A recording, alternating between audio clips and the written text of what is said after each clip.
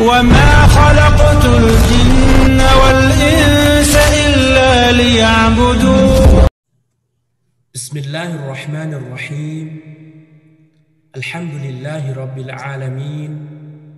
والصلاة والسلام على أشرف الأنبياء والمرسلين. نبينا محمد وعلى آله وأصحابه أجمعين. أما بعد.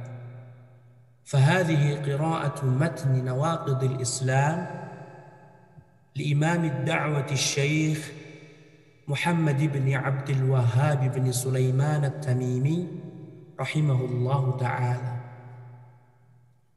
المتوفى سنة ست ومئتين وألف للهجري قال رحمه الله بسم الله الرحمن الرحيم.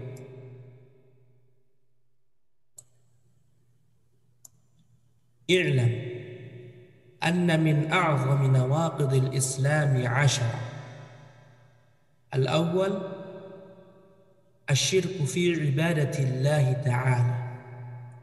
والدليل قوله تعالى إن الله لا يغفر أن يشرك به ويغفر ما دون ذلك لمن يشاء.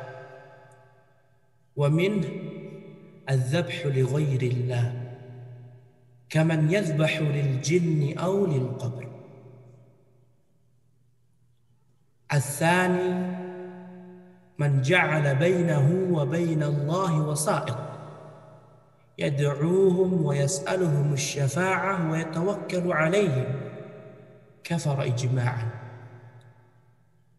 الثالث من لم يكفر المشركين أو شك في كفرهم أو صحح مذهبه كفر إجماعا.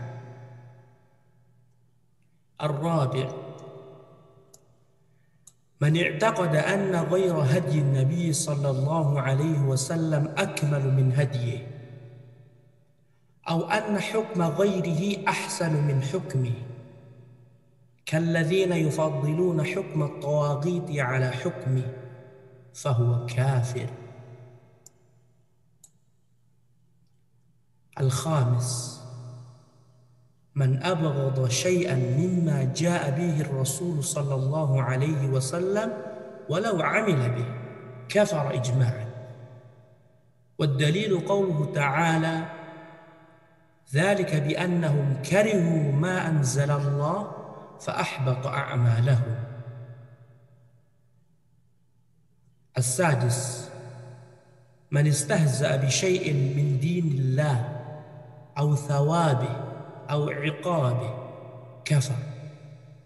والدليل قوله تعالى قل أب الله وآياته ورسوله كنتم تستهزئون؟ لا تعتذروا قد كفرتم بعد إيمانكم.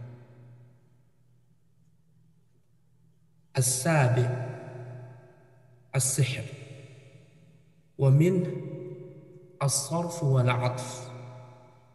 فمن فعله أو رضي به كفر. والدليل قوله تعالى وما يعلمان من أحد حتى يقولا إنما نحن فتنة فلا تكفر. الثامن مظاهرة المشركين ومعاونتهم على المسلمين. والدليل قوله تعالى ومن يتولهم منكم فإنه منهم. إن الله لا يهدي القوم الظالمين. التاسع من اعتقد أن بعض الناس لا يجب عليه اتباع النبي صلى الله عليه وسلم وأنه يسعه الخروج عن شريعته صلى الله عليه وسلم. كما وسع الخضر الخروج عن شريعة موسى عليه السلام فهو كافر. العاشر. الإعراض عن دين الله. لا يتعلمه ولا يعمل به. والدليل قوله تعالى ومن أظلم ممن ذكر بآيات ربه ثم أعرض عنها إنا من المجرمين منتقمون.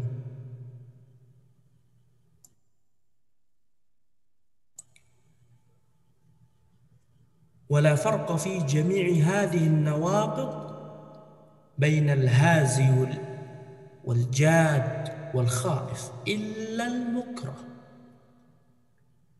وكلها من أعظم ما يكون خطرا ومن أكثر ما يكون وقوعا. فينبغي للمسلم أن يحذرها ويخاف منها على نفسه. نعوذ بالله من موجبات غضبه وأليم عقابه.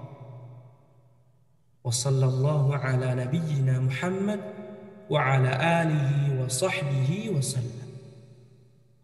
تم بحمد الله. وبالله التوفيق. وصلى الله وسلم على نبينا محمد وعلى آله وصحبه وسلم تسليما كثيرا.